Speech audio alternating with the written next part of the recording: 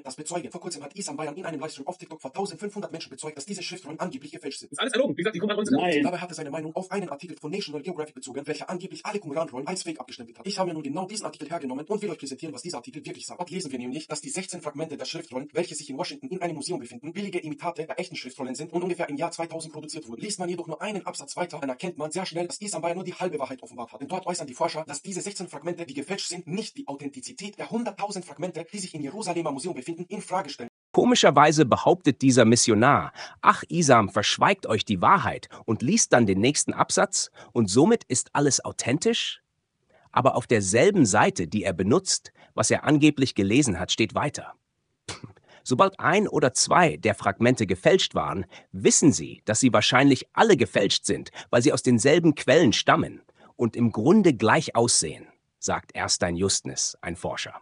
Überprüft man weitere Berichte von den Forschern, dann stellt sich heraus, dass diese Qumran-Rollen Fragmente enthalten, die sogar tausend Jahre älter sind als die heutigen biblischen Texte, die wir heute haben. Sie enthalten sogar Teile der Septuaginta, der griechischen Bibelübersetzung, wie auch Teile aus dem sogenannten Jeremia-Buch des Alten Testamentes, welcher in der heutigen Bibel überein Ich dachte, du zitierst von der Quelle, die Isam genannt hat? Aber das ist kein Bericht aus dem Artikel, sondern von bibel.de. Wieder beim Lügen erwischt. Stimmen. Forscher bezeugen sogar, dass das ein weiterer Beweis dafür wäre, wie glaubwürdig und genau die Schriftsteller der Bibel Informationen weitergegeben und überliefert Wir werden noch sehen, ob es unverändert und gleich geblieben ist. In den Höhen rund um Qumran entdeckten Schriftrollen vom Toten Meer, die gehören zu den bedeutendsten Schriftfunden der Archäologie und enthalten die ältesten Versionen der hebräischen Bibel und anderer jüdischer Texte aus der Zeit Jesu. Die Missionare benutzen veraltete Artikel. Ein Artikel aus dem Jahr 2022 sagt Folgendes. Bei der Jesaja-Rolle wird schnell klar, dass mehrere Schreiber am Werk waren. Es gibt viele Spuren von Nachbearbeitung und Korrekturen. Die Forschung vermutet, hier sind nicht nur Kopisten am Werk gewesen.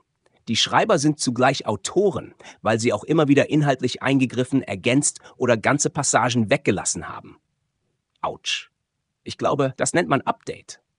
Warum sollte man etwas ergänzen oder Passagen weglassen? Noch dazu Kuferpur, die Geschichte mit den Jungen, dass er dies gefunden hat. Die Jesaja-Schriftrollen wurden am Toten Meer gefunden. Das sind die äh, Schriftrollen am Qumran.